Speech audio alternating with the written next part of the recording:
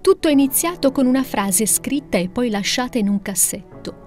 Da quelle parole, una in fila all'altra, sono nati due romanzi, Il seme del palissandro, tradotto in inglese, e La casa di Mary Abram. A scriverli Massimo Rozzoni, piacentino, qualche anno fa si è lanciato in questa avventura, scrivere romanzi storici, partendo da una sua passione, la ricerca.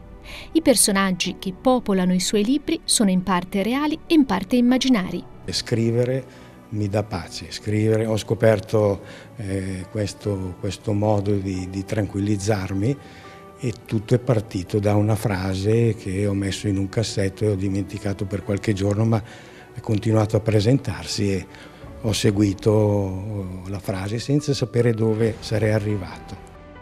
Sono nati da quella frase due libri un altro in cantiere. Di che cosa parlano? A cosa si ispira per creare i suoi personaggi?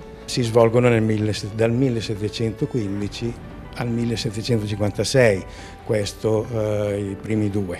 Il terzo verrà più tardi, ma mh, mm, è la storia in pratica di quel periodo soprattutto partendo dall'Inghilterra, i Caraibi, tornando e, sopra, e, anche il secondo è ambientato interamente a Edimburgo perché è un periodo molto particolare anche se non è molto conosciuto, eh, è, è il ponte di congiunzione tra la fine di un'era e l'inizio di un'altra che è il 1800.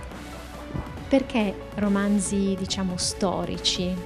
La domanda tua è bellissima perché mi dà modo di spiegare una cosa.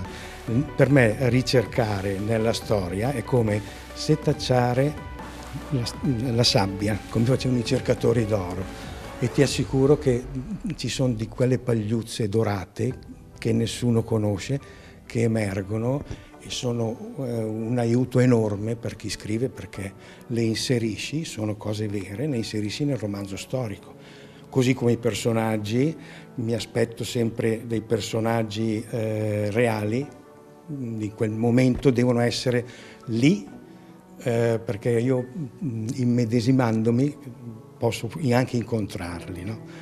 E poi li unisco a altri personaggi che in genere conosco, eh, dal medico curante al con le loro caratteristiche diventa una compagnia il personaggio. Io ci ho passato mesi insieme e tutti eh, mi hanno dato qualcosa.